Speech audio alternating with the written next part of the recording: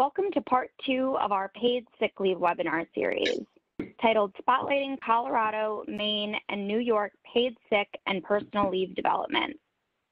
At this time, all participants are in a listen-only mode. For those of you who are logged in to the web presentation, you are encouraged to submit questions throughout the conference by typing them into the Q&A box on the right-hand side of your screen. Questions will be monitored by our presenters throughout the program, and if time allows, the speakers will address questions at the end of the presentation.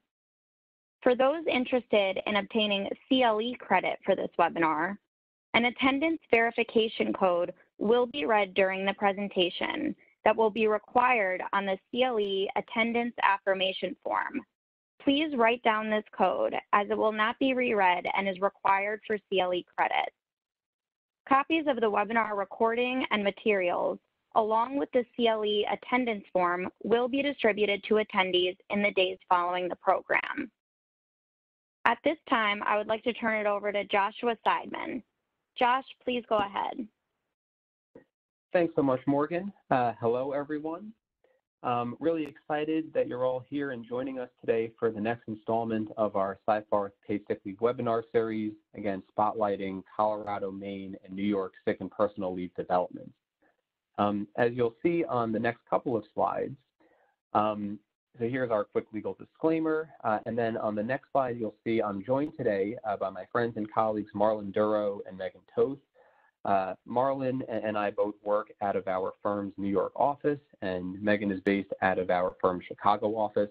We're all members of Seyfarth's paid leave team, and each of us has spent a great deal of time the last several months working with employers and, and guiding and partnering with our clients as they work through some of the latest and most recent developments in the country's paid sick and personal leave space, and those are the laws in Colorado, Maine, and New York.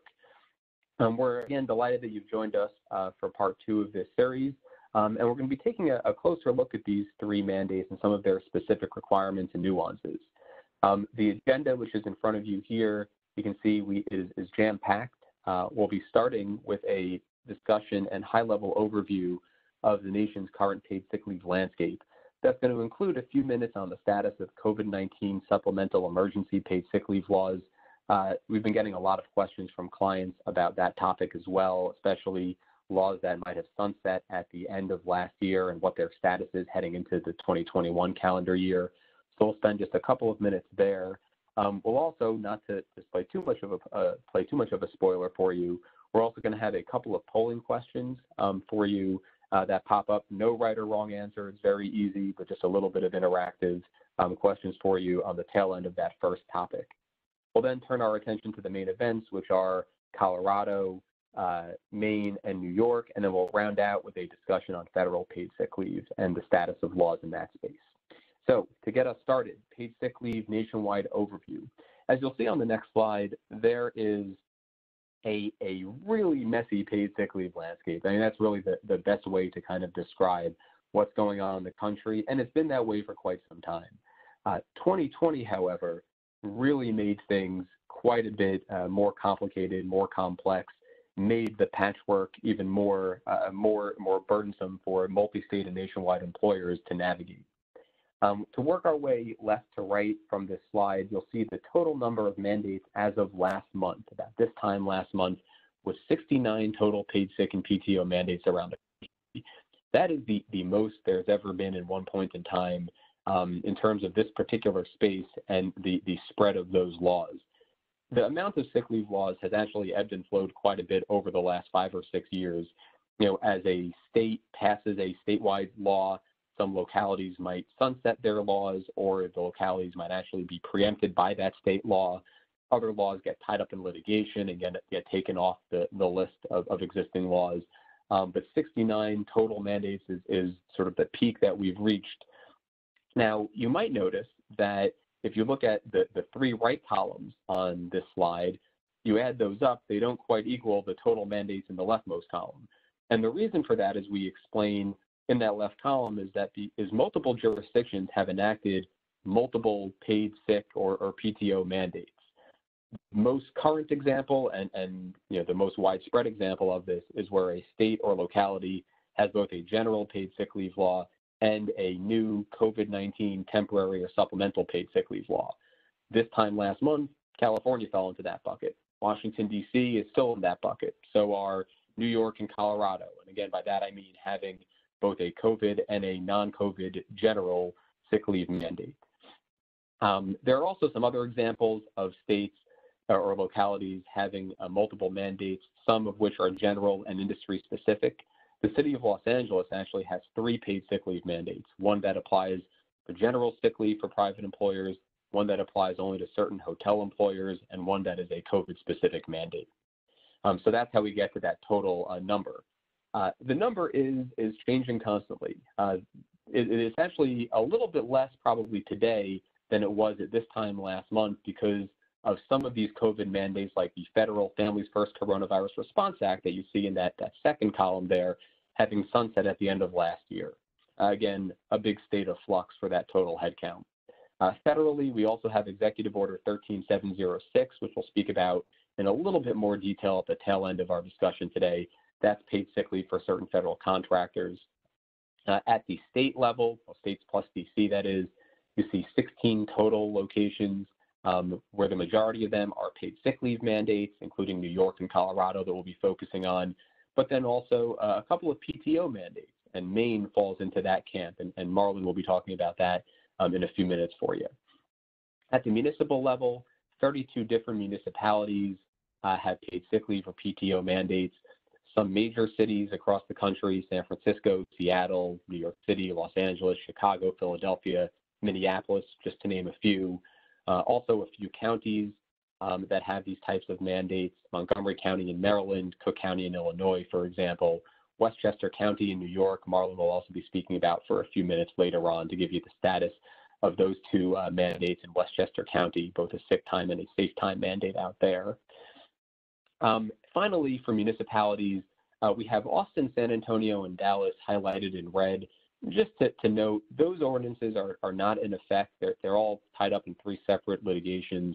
Um, they are all temporarily enjoined at this moment, and the prospects of them going in, going into effect look look very slim at this point. But for honorable mention, we, we've thrown them on this list.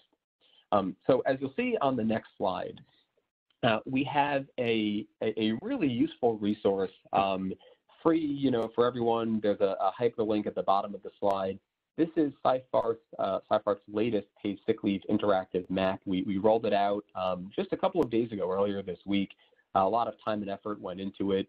Um, we did an earlier version of this, uh, this concept in late 2018 where you saw the evolution of sick leave over multiple time periods pre-2014, where there were only five laws around the country, um, then to 14, 15, 16, 17, and 18. Uh, and then we've added now the 2019 and 2020 maps uh, to the same resource. 2019, the big pop-ups involved the PTO laws. 2020 involves the, the big you know, changes involve the COVID-19 supplemental paid sick leave laws. Um, it shows the proliferation of these laws both geographically and in terms of their actual content and, and substance, the type of laws that expanded. So the color code is all here for you. Um, really great resource, a lot of really helpful footnotes that we've added to go along with the different maps to explain what you're seeing and all the different colors and moving pieces. Uh, one thing to note too that's also really nice about this map is it shows anti-local leave laws. And what we mean by that is states that have passed a law that says localities within the state cannot pass a paid sick leave local ordinance. If there's going to be a sick leave mandate in the state, it has to come from the state level. So that's what that turquoise greenish blue color in the middle of the country kind of looks like. Um, so another great resource, we wanted to make sure you're aware of it. Again, hot off the presses from earlier this week. Uh, next slide, please. So one other topic uh, for me substantively before we get to our polling questions and then turn it over to, to Meg and Marlon um, is a quick discussion on COVID-19 uh, sick leave developments and PTO developments. These developments can be broken into three main groups, and we've color-coded them for you um, to make it more helpful when you see the, the list in a second. Group one, entirely new laws, executive orders, um, what have you, right? That supplemental COVID mandate I've mentioned a few times. Group two, amendments to existing laws or regulations where the, the locality or state adds some new reasons for use or some new conditions um, related to COVID-19. And then group number three is non-binding guidance. So no new law, no amendments to existing laws, just some general FAQ or website explaining how sick leave in that location works in light of COVID. And as you'll see on the next slide, last, last year we saw 34 locations, at least 34 locations, have some type of COVID-19 sick or PTO development. Um, if you remember the colors from the, from the prior slide, right, the, the purplish, bluish color shows locations that have had non-binding guidance. That is quite, quite a few, more than a dozen um, locations that have had some type of temporary COVID mandate that's been added, right? As of this time last month, California fell into both of those buckets. It had non-binding guidance and a statewide mandate. Um, today, Los Angeles City uh, and, and San Francisco both fall into that bucket as well.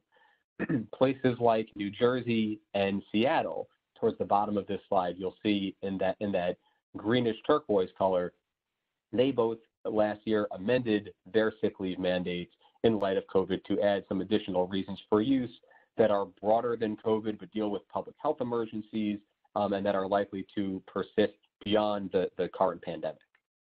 Um, the topic that a lot of folks, as I mentioned a few minutes ago, are asking about is so what about the laws that were set to sunset at the end of, of last year? You know, what is their current status? Um, there's, again, a lot of moving pieces here. A lot of these mandates get enacted and go into effect immediately without any lag time or waiting period. Um, what we do know, the FFCRA federally, that has sunset. Um, although, as we'll discuss later on, there are still some tax credits available for employers who are voluntarily providing those benefits for at least the next couple of months.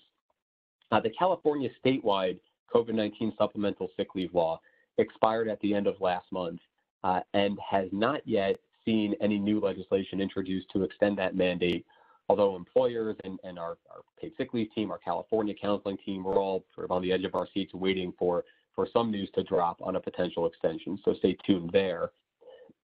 Other places that had their laws uh, sunset at the end of last month or that were scheduled to sunset that have already seen extensions include places like the cities and county of Sacramento. Both of those look like they've been extended into some portion of 2021. Just last week, San Jose extended its ordinance um, that was set to expire last month through the end of June of this year. Um, San Mateo County in California did the same thing. Um, a number of other locations, though, uh, Philadelphia, for example, looks like its mandate has sunset. Um, we're no news on extensions there that we're aware of. Other places in California, Oakland, LA County, for example, both look like while those did expire, they are now currently being considered for potential extensions later this month. So again, a lot to pay attention to. Um, please stay tuned for more information on those um, in, in, the coming weeks and months, uh, and, and we'll do our best to keep everybody up to date. Next slide, please. So this takes us to our first polling question. Um, as you should see on the, the right side of your WebEx, um, you should see a couple of choices pop up there.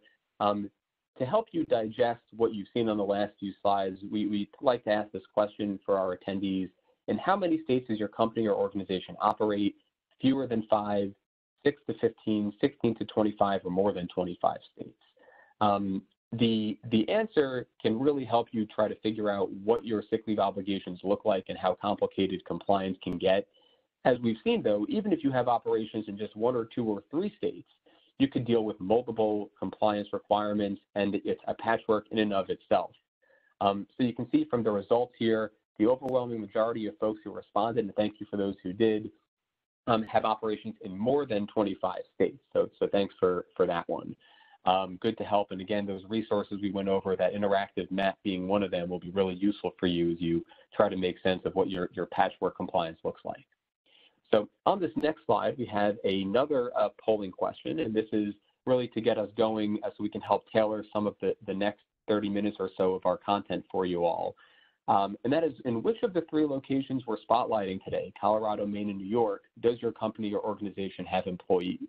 Colorado only, New York only, Maine only, at least two of those three, or all three of them.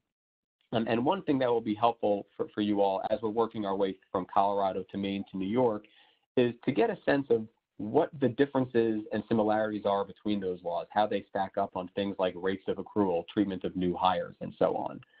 Um, so it's great for us to see that the overwhelming majority of folks who responded have operations in all three. That is good news and, and what we're hoping, um, with number two on this list being folks that have operations in at least two of the three locations.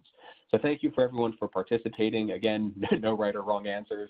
Uh, with that, I'm going to pass it over uh, to my co-presenter, Meg Toth, to talk you all through of the developments in Colorado. Thank you, Josh. Um, good afternoon or good morning, depending on where you are. My name is Meg Toth, and as Josh mentioned, I'm an associate in our labor and employment group based out of Chicago or Seyfarth Chicago office.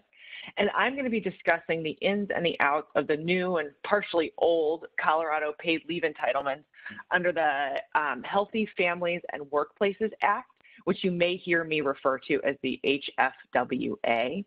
If you have employees in Colorado, I am sure you have spent the better part of the last year trying to keep up with the changing laws in this space as it relates to paid leave for COVID. So I'm hopefully going to clear up some of that um, and also talk about the new general paid sick leave law. Um, and of course, uh, go through how all of these aspects of the HFWA work together. So on the next slide, um, you will see uh, a brief overview here of the HFWA, which was actually enacted in July 14th of 2020, and it consists of three different leave entitlements. There's a COVID-19 paid sick leave specific entitlement, which actually expired at the end of 2020. And what I mean by COVID-19 specific is it actually mentions COVID-19 by name. Um, and I will sort of go into this in more detail, um, at least briefly, just to clear up some sort of confusion about the various aspects of um, COVID-19 leaves that have been in place uh, in a minute. And then the, uh, the second entitlement is a general paid sick leave law, which is very similar to what you've seen, you know, pre-COVID uh, around the country, which was effective um, January 1st of 2021. Uh, and then finally, the last aspect of it is the public health emergency leave. Um, and this is different from the COVID-19 specific paid leave um, and is just generally applicable to public health emergencies, but of course applies to COVID-19. And this went into effect uh, January 1st of 2021. So on the next slide, taking a closer look at the COVID-19 specific aspect of the HFWA and how it has evolved over the course of the last 10 months. Um, even though this has expired, as you'll see um, on December 31st, 2020, uh, I think it'd be helpful to just sort of briefly talk through how um, the COVID 19 specific leave laws have evolved in Colorado because it is a source of confusion for a lot of our clients. Um, so starting in March uh, of 2020, Colorado was actually one of the first states to enact some sort of temporary emergency uh, paid leave, which was the temporary health emergency leave with pay, or as we like to call it, the HELP rules. Um, this provided for initially, you know, a very minimal amount of time off, four four days of leave, and was amended, you know, over the over the course of time to eventually provide two weeks of leave. But this was quickly terminated on July 14th uh, of 2020 when the HFWA was enacted. Um, and when the HFWA came into place, as I mentioned before, it had a COVID 19 specific leave that applied and mentioned by name to leaves related to COVID-19. This went into effect immediately upon enactment of the law, but as always contemplated by the law, it expired on December 31st, 2020. And those of you who are familiar with this uh, law, this, um, just to give you some perspective, even though it's been expired, this is the law that mirrored the FFCRA uh, which, you know, as many of you probably know, is the, the, federal leave entitlement that only applied to employers with less than 500 employees. But this in Colorado generally extended to every employer in the state, regardless of size. So that has expired as of December 31st, which brings us to the uh, HFWA public health emergency leave, which is uh, became effective on January 1st and effectively replaced the COVID 19 specific leave that was in place from July through December. Um, we'll get into this law in more detail later in the presentation, but I just want to emphasize the fact that PHEL uh, is not specific to COVID-19, and it will be in existence beyond uh, this public, the current public health emergency, um, but it does provide leave for the current COVID-19 public health emergency. And also, um, just to sort of emphasize, there is no credit or offset for the time provided in 2020 under the different uh, COVID-19 specific mandates. Uh, and the PHEL aspect of this law requires a completely new entitlement uh, for employees in Colorado as of January 1st, 2021. Okay, so on to the next slide. Um, we're going to take a closer look here at the general paid sick leave aspect of the law. As I mentioned before, this is very similar to some of the other laws unrelated to COVID uh, around the country. And um, even though it isn't necessarily specific to COVID, it is worth flagging that this aspect of the law does provide uh, leave related to public health emergencies. It applies to all Colorado employers um, with a caveat that if you have 16 or less employees, it does not apply until January 1st of 2022. Um, and this includes 16 employees uh, anywhere, not just limited to the state of Colorado. So it is a, a fairly broad mandate, um, and a lot of employers will be covered. Um, and then in terms of the employees that it covers, it covers all Colorado employees. There's no hours worked eligibility requirements. It applies to part-time, full-time, temporary. Uh, the only exception would be independent contractors. This law does not apply to independent contractors. So on the next few slides, we'll take a look at some of the uh, important requirements for general paid sick leave. Uh, you'll see on the slide here the chart. It, the accrual aspect of the law is fairly typical um, in comparison to other laws around the country. Employees are allowed to accrue one hour of sick leave for every 30 hours worked. Um, employees must start accruing at the beginning of their employment they are allowed to accrue up to 48 hours a year, and they are allowed to use up to 48 hours a year. Um, the usage and waiting period under the Colorado law is somewhat unique. There is none. Um, you are not allowed to impose any waiting period for employees. The general paid sick leave must be immediately available for use upon accrual. Um, as for year-end carryover, employees must be allowed to carry over any earned unused paid sick leave up to 48 hours at the end of the year. Um, there the law does address front loading, which as many of you know, this means if you would like to provide all 48 hours, you know, all of the required entitlement upfront at the beginning of the year, you are allowed to do that under the Colorado law. However, you know, as many of you may know, if you're familiar with other paid sick leave, sometimes the benefit of doing this is that you don't have to carry over at the end of the year. However, the law is unclear if front loading gets rid of the employer's obligation to carry over. And so at this point in time, if you even if you are front loading the time, you are still likely required to allow employees to carry it over.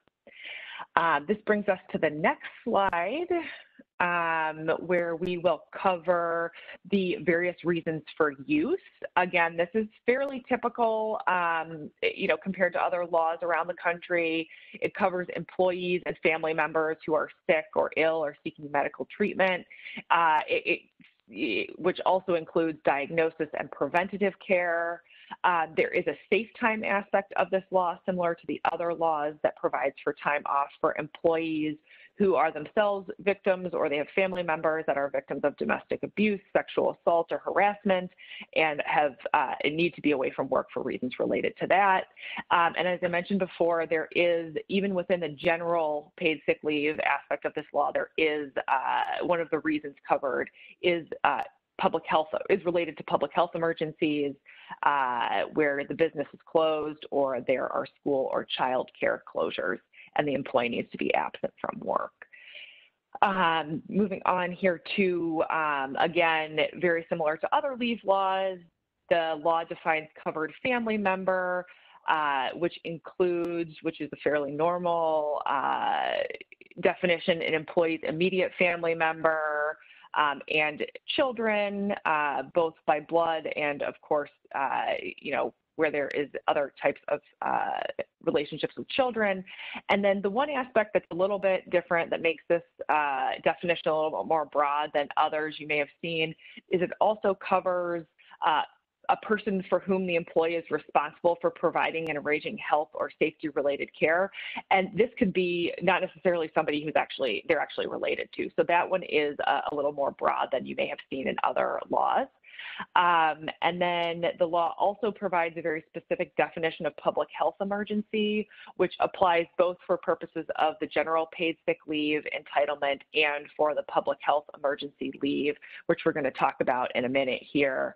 Um, and, you know, I, this you, can see the definition here. Clearly, it, it uh, covers, you know, the COVID-19 public health emergency that we're, we're going through right now um, which yeah, which should be pretty straightforward there. Okay, so on to the next slide. The last few important requirements under the general paid sick leave law, um, the increments of use, and I think I actually saw a question related to this. Um, the Colorado law does allow um, you employers to impose a one hour minimum increment of use. Uh, however, I do want to flag here too, which I think is later on in the um, the chart, if you do not have this in a written policy, then you will, you're possibly going to be required to allow employees to use time in six hour increments or six times, sorry, six minute increments. Um, so it's very important if you are wanting to impose a higher than six minute increment of use requirement that you have that in a written policy.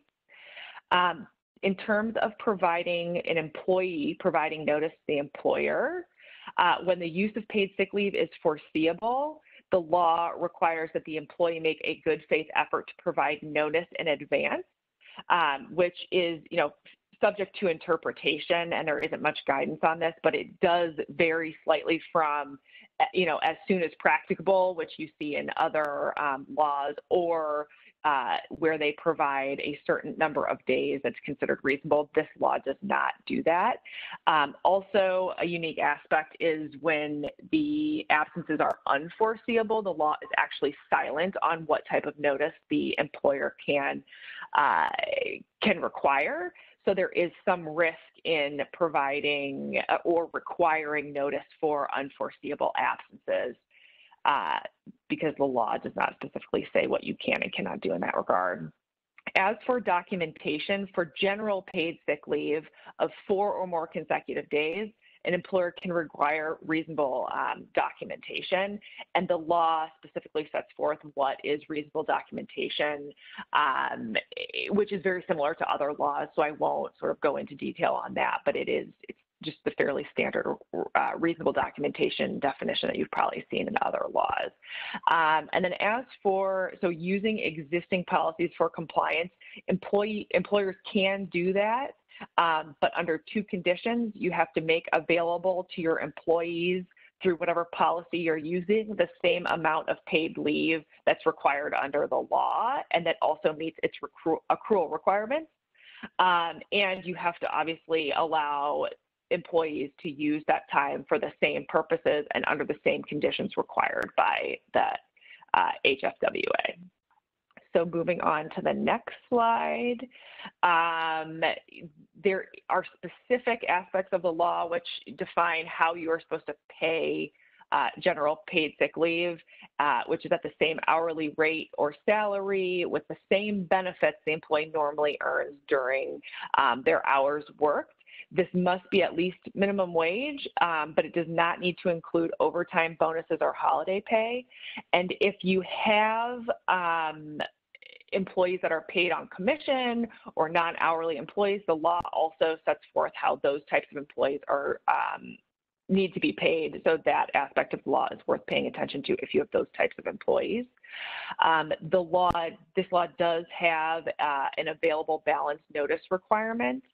Um, but unlike other laws, it is upon an employee's request that the employer must provide the amount of paid leave the employee has.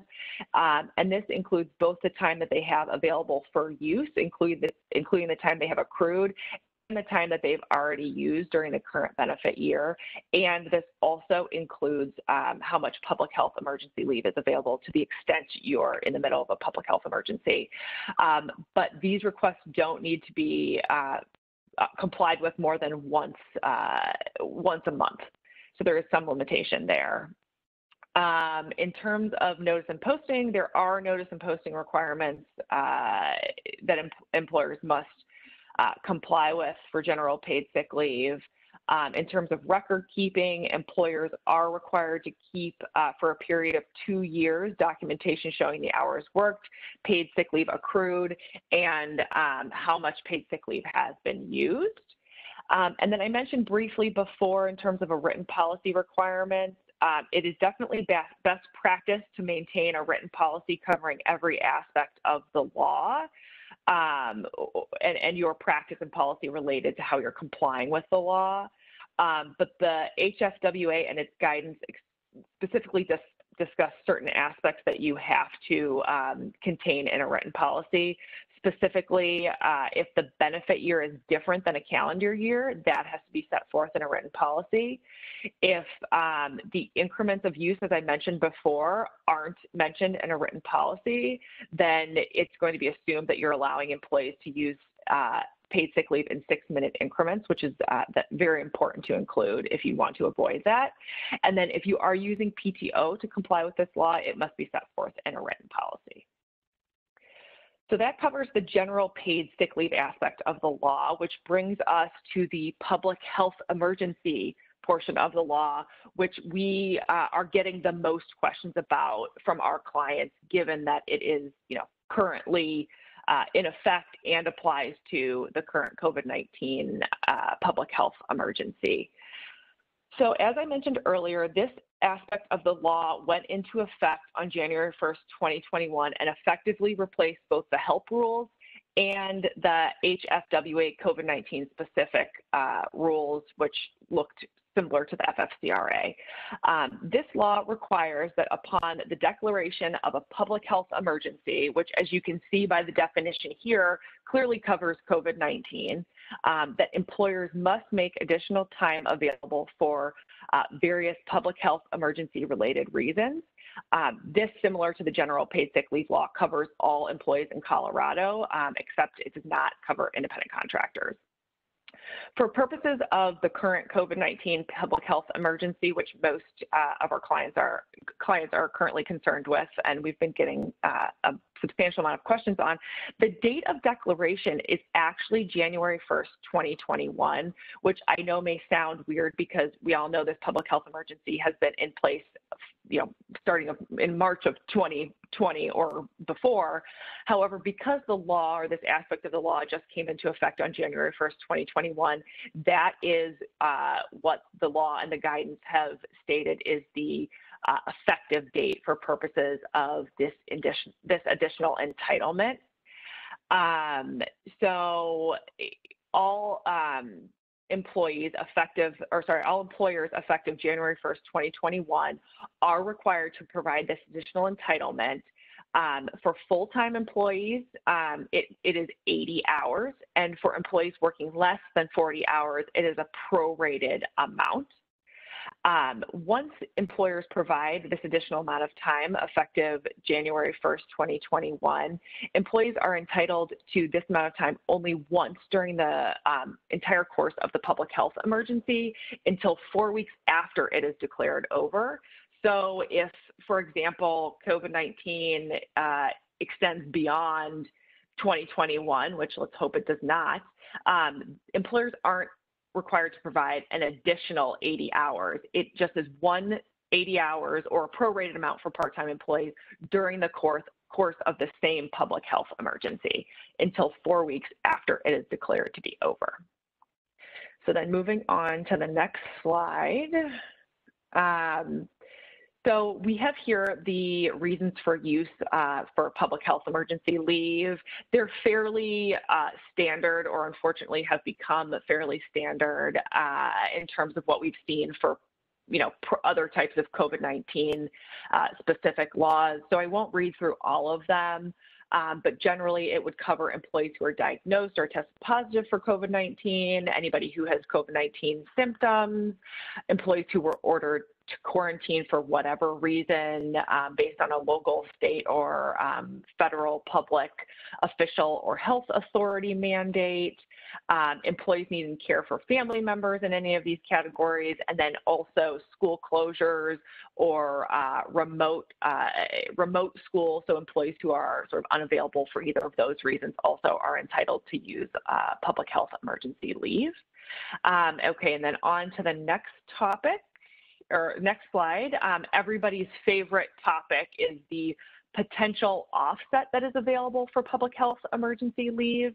Well, public health emergency leave is generally in addition uh, to paid sick leave or other types of paid time off that the employer is providing. There is the potential um, to offset um, time that is being provided so employers can offset the amount of public health emergency leave that they're required to provide to an employee for each hour of paid sick or other paid time off available that is actually available on the date that the public health emergency is declared. So, um, and we'll provide some examples here. Um, but if you are going to offset the public health emergency leave time um, by time that's already available. That time that's already available must be uh, available for the employees to use uh, in accordance with the public health emergency uh, leave law, and it, it is treated as protected public health emergency leave for purposes of notice, documentation, reasons for use, um, and so on and so forth. So um, moving on here, here are some examples that sort of illustrate how this offset can be used. So if you have a full-time employee um, in Colorado that has 48 hours of paid sick leave or paid time off available on June 1st, assuming that's the date we've chosen that the public health emergency is declared, um, the employee will receive then only an additional 32 hours of public health emergency leave. Um, so you have the 48 hours of paid sick leave plus the 32 hours of public health emergency brings you to that 80 hours. And then the employee can use 48 hours um, of the paid sick leave or paid time off for um, paid sick leave or other PTO reasons, or they can use it for public health emergency leave covered absences. And then the 32 hours that you've then made available on June 1st can only be used for public health emergency leave covered absences. Another example is if you have a full-time employee that um, has zero hours of paid sick leave or paid time off available on June 1st, when a public health emergency is declared, that employee will see will receive a full 80 hours of public health emergency leave, which can be only used for public health emergency leave covered absences.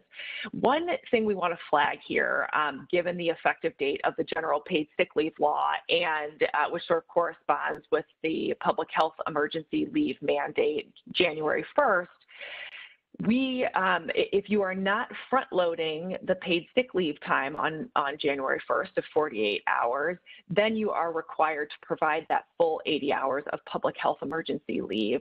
Whereas you, if you are front loading 48 hours of paid sick leave, then you are required, you're only required, pardon, to provide 32 hours of that public health emergency leave reasons. And why this is important is because if you are doing an accrual policy and so you have zero hours accrued at a, as of January 1st, you have to provide the 80 hours and then you have to continue to allow employees to accrue up to 48 hours of paid sick leave time.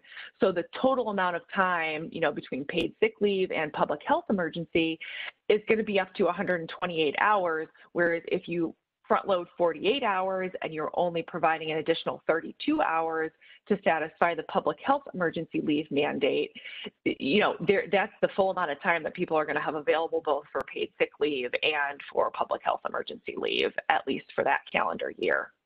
Um, anyhow, I'll just go over one of these for purposes of time. Um, one of these examples related to somebody who's not uh, an employee who's not a full-time employee. So if you have an employee scheduled to work 30 hours a week and they are given 48 hours of paid sick leave available on the date the public health emergency is declared, that employee only actually receives an additional 12 hours for a total of 60 hours of public health emergency leave, which is a prorated amount um, based on their 30 hours worked each week, um, proportional to that, uh, the total amount of time that they work each week. Um, okay, so moving on to the next slide, um, you know, some of the other requirements um, of the public health emergency leave related to employee notice and documentation. Um, in terms of reporting absences, uh, this is the same as I discussed earlier on um, the general paid sick leave aspect of the law, uh, foreseeable absences. Uh, it's, it's a good faith effort standard in terms of providing notice in advance, and the law is silent um, in regards to how uh, far in advance employees need to provide uh, notice for unforeseeable absences. Um, one big, one important aspect of this law is that you cannot actually deny paid sick leave for non-compliance with any notice policy. Um, so there is some gray area in with this aspect of the law. And then importantly, in terms of documentation, for public health emergency leave, you cannot require employees to provide documentation, which uh, diverges from what's required for the general paid sick leave uh, law, where you can ask for documentation after four or more consecutive uh, days of absence. Okay, then the last, uh, moving on here to the last uh, slide, there is the same notice and poster requirement as I discussed for the general paid sick leave law. Um, and then similarly, as I mentioned earlier, um, the available balance notice requirement also provide or also applies to public health emergency leave time. Um, it must be provided upon request, no more than one time per month. Um, and employers can comply. There is guidance on this um, by including this information on a pay stub or including it um, on the internet uh, or intranet where employees uh, have access. Uh, or you can just provide a, a, separate type of notice upon the employee's request um, apart from pay stubs or the internet. So uh, that brings us to the end of the Colorado specific section. I know we covered a lot, so please feel free to reach out to me after the webinar if you have specific questions that we aren't able to answer through the chat function. Um, and now I will pass this over to Marlon to talk about Maine and New York. Thanks very much, Meg. Um, so I'll start out by talking about the Maine earned paid leave law. And one thing you'll notice here is that you don't see the word sick or save time on that slide. And the reason for that is because Maine is one of the three PTO laws um, that are uh, right now existing in the US. It was the first law to be enacted, but the last one to go into effect. It went into effect January 1st of this year.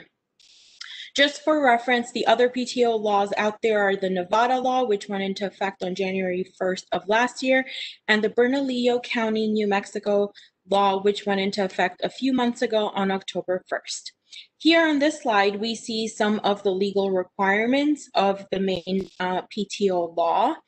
Um, in terms of coverage, um, although the definition of employer is generally broad, um, the law covers employers who employ more than 10 employees in the usual and regular course of business for more than 120 days in any calendar year. The term employee is very broad and covers anyone engaged in employment as defined by the state's unemployment compensation provision. Although the law is unique, as you'll see, the reason for use is that the employee can use the leave for any reason. There is not um, too much that's unique about this law in terms of all the other um, requirements that you see on the slide. So employees accrue leave at the rate of one hour for every 40 hours worked up to 40 hours per year with the usage cap and a carryover cap of 40 hours. Now, the usage cap and carryover cap were not clear from the law, but the regulations were able to clarify that those are in fact 40.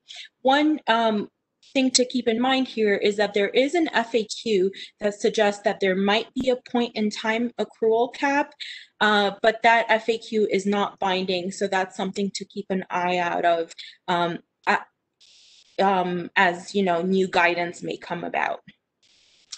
Um, and because this law uh, provides leave for any reason, there's no corresponding family uh, member definition like we see with most paid sick leave laws. Next slide, please. Um, here you'll see the increments of use, which is at least one hour, um, unless, of course, the employer chooses to have a smaller increment of use. You just cannot have an increment that is greater than that. In terms of notice, uh, you can require notice from employees. There are some um, laws, you know, with PTO laws, it's unclear if you could require notice, but in this case, you can. Um, and absent an emergency, illness, or other sudden necessity, an employer can have a written policy requiring up to four weeks notice. Uh, but if it is for a sudden illness or emergency, then the request for notice has to be reasonable and employees just have to make a good faith effort to provide as much notice as is feasible, which is pretty common um, in sick leave laws um, in regards to unforeseeable absences. But if it is foreseeable, something like, you know, a vacation or something that is not relating to an illness, you can require the greater notice of four weeks as long as that is in a written policy. So that's important to keep in mind. Um, the good thing about the Maine uh, law is that an employer can place certain reasonable limits on employees scheduling of leave for reasons other than emergency illness or sudden necessity. So if an employee is to use the time for vacation, you do have some control regarding to scheduling if it would cause undue hardship. Um, and the regulations explain a little bit of how you determine um, what is undue hardship. In terms of documentation, there's no provision in the law, and unfortunately, neither the regulations or guidance address this requirement, so it's unclear if you can require documentation. Next slide, please. And now finally, for Maine, looking at the non-policy requirements, um, so these are things that don't typically um, that are not typically included in the written policy. Um, the good news is that there is no available balance notice requirement and this is a great thing because I'll, as we'll see with new york state and new york city in just a few seconds um, this is a burdensome requirement.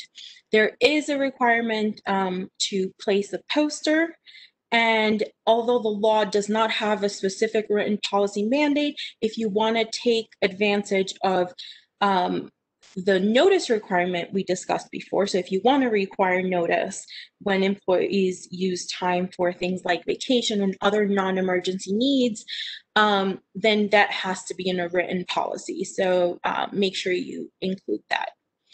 Um, and that wraps up Maine, and now we'll be moving on to New York. So with New York, we're not going to go into a ton of detail about all the requirements of the state or the local paid sick and safe leave laws because we went through those in detail during part one of this webinar series. Uh, but we will um, give a quick refresher on the law um, as well as highlight some of the differences between the New York State and New York City law. And then at the very end, we're going to talk briefly about Westchester and where that stands. But just by um, way of background, the New York State law went into effect on September 30th of 2020. Um, the New York City law, although that's been around for a while, it was amended late last year in an attempt to align with the New York state law, although we will see that there are some major differences between the two, well, some significant differences. Um, and the amendments to the New York City law went into effect on uh, September 30th, 2020, just like the state law. So on this slide, you'll see a brief refresher of everything that we discussed during part one, the accrual rate, accrual cap, usage cap. Now, one thing I did want to point out here is that there were some open questions with um, you know, the accrual cap and usage cap, because as you, as you see, those are dependent on the employer size. Now, when we presented part one, we were still waiting for regulations. Um, right now, the state released um, proposed regulations in December, um, and those are now subject to a comment period until February 7th.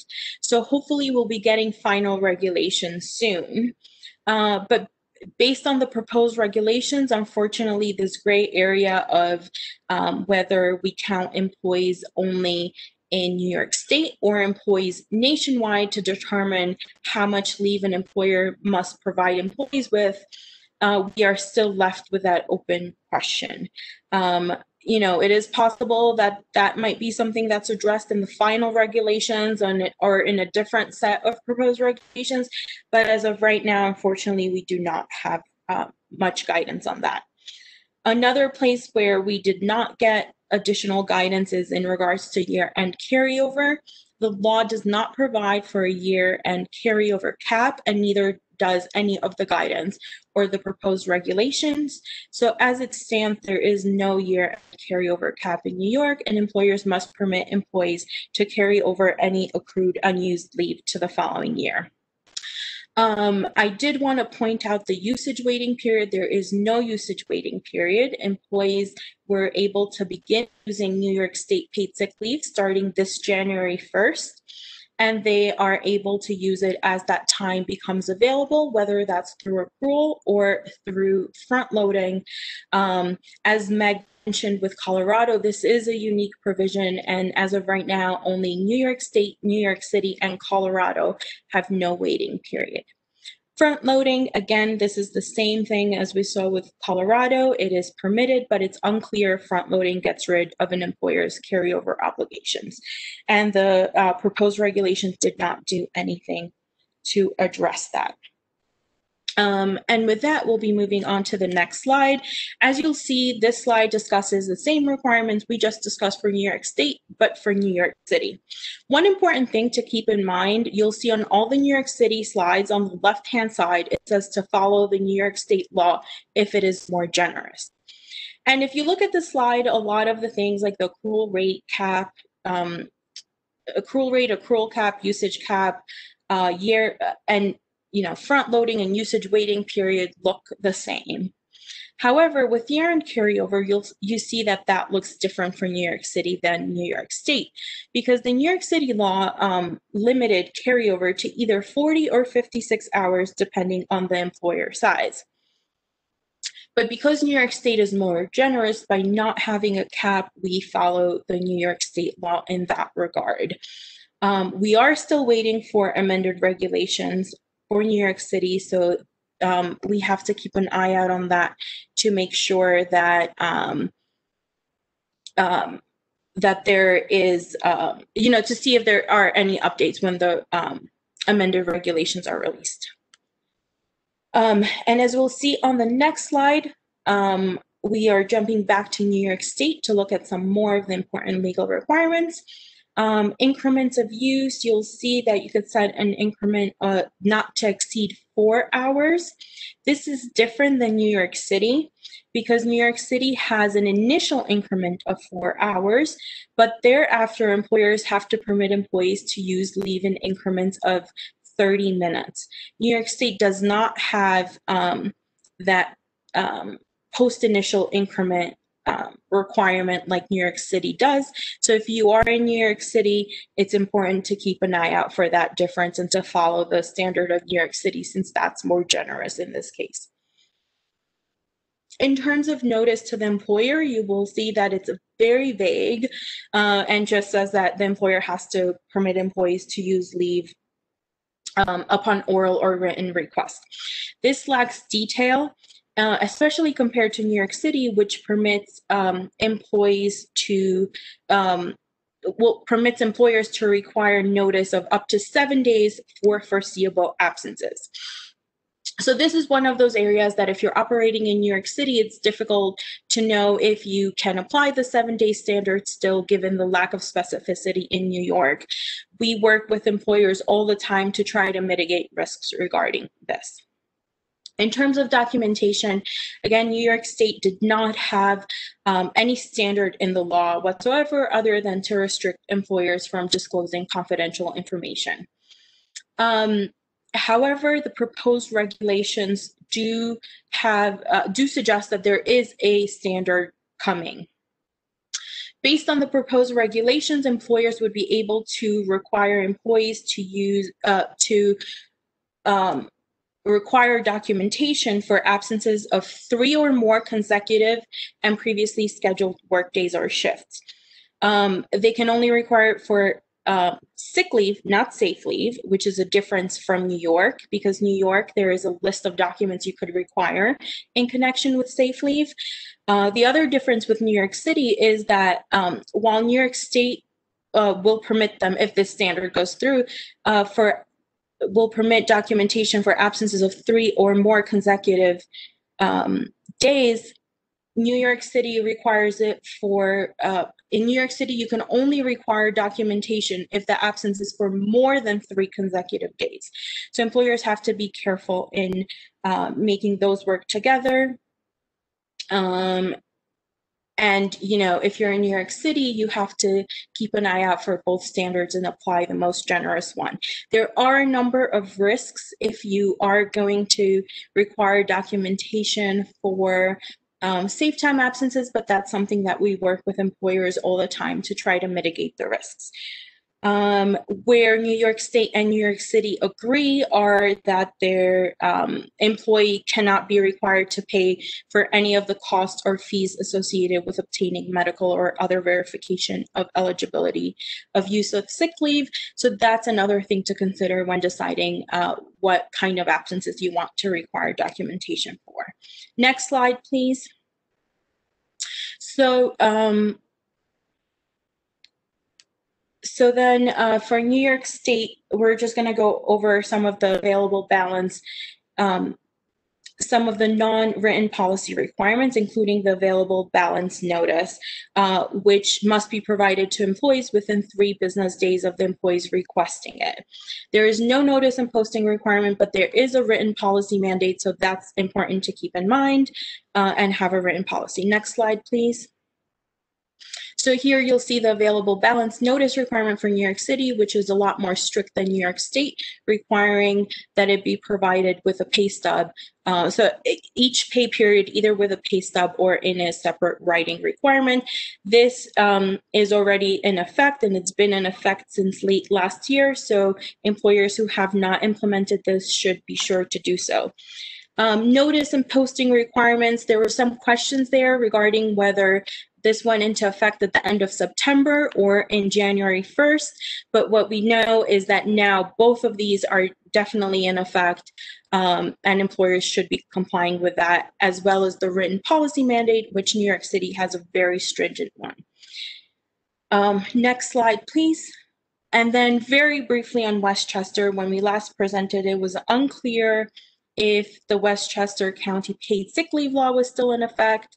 Um, we now know that Westchester County repealed its sick leave law, and employers in Westchester County need only follow the New York State paid sick leave law uh, for the state. But to keep in to um, what's very important is that Westchester County paid safe time law is still in effect, so employers should have a separate policy to comply with that. And with that, I will uh, pass it on to Josh. Great. Next slide, please. So just before we jump into the last couple of minutes here, the CLE code for today is SS0113. Again, that is SS as in Seyfarth Shaw 0113. So turning to the last few slides, status of federal paid sick leave. There is a federal contractor paid sick leave executive order number 13706 from the Obama administration that went into effect back in 2017. It's still around. It applies to federal contractors and subcontractors with certain types of contracts. Um, it is the only law that's out there today in the sick leave space that crosses state borders. So it's important to keep that one in mind if you do have federal contracts or subcontracts. The federal FFCRA, as I mentioned earlier in the presentation, sunset at the end of last year. Um, that said, for employers that are still offering uh, those benefits to employees voluntarily, they can still receive the tax credits um, from the federal government through at least the end of 2021 Q1, so the end of March of this year. Uh, the bottom topic there, the Healthy Families Act, that one is really worth keeping an eye on as we head into the Biden administration, um, given the setup of Congress as it stands today. Paid sick leave is one of those bipartisan topics, and this Healthy, Healthy Families Act um, is something that has already been introduced and is hovering out there and could come under increased focus in the next six to 12 months. It would not preempt state or local laws as it currently stands. That's one of the big pieces. It would be one hour for every 30 hours worked, up to 56 hours per year of accrual, with importantly no cap on annual usage. So that's an important current gap in this law or silent uh, area of this of this uh, not law but this bill that is hovering out there right now. So keep an eye on the Healthy Families Act as we head into the new year. Next slide, please. So a recap for you here, laws that have gone into effect recently. We've covered New York State and New York City with their increased usage caps and usage beginning. Maine and Colorado both having their mandates starting up on 1-1-2021 and the COVID supplemental sick leave mandates with a number of them getting extended and still other localities and states that could join that bandwagon in the coming months as the pandemic continues on. Next location is likely to adopt at the state level, keep an eye on Illinois, Hawaii, Virginia, and New Mexico, with Virginia and New Mexico being the two that seem most likely and most poised to pass a statewide sick leave law um, in the coming months. Really keep an eye on those two. There's been a lot of chatter about them um, in the last few weeks. Uh, next slide, please. Finally, uh, in terms of sick leave resources, we have a great mailing list um, that you can sign up for. It will take about a minute. You'll get all of our client alerts and blog posts on sick leave in real time. We also have a comprehensive paid sick leave survey that we offer to clients that covers all federal, state, local paid sick leave laws in existence, COVID, non-COVID, PTO, sick leave, you name it. Covers about 50 different substantive topics. So that resource is there for subscribing clients If you want more information, please feel free to reach out to any of the presenters or the paid leave at seyfarth.com email provided there for you. Uh, and on the final slide, we just want to say thank you so much to everyone for attending. Um, our contact information is here for your reference. We really appreciate your time and look forward to, to you attending our next segment of our paid sick leave webinar series, which again, we'll be talking about uh, the COVID-19 sick leave landscape in the next month or so. Thanks again. Have a great afternoon, everyone. Thank you. This concludes today's webinar. As a reminder, you will receive a copy of the materials, recording, and CLE attendance verification form in the days following the program. Thank you for attending.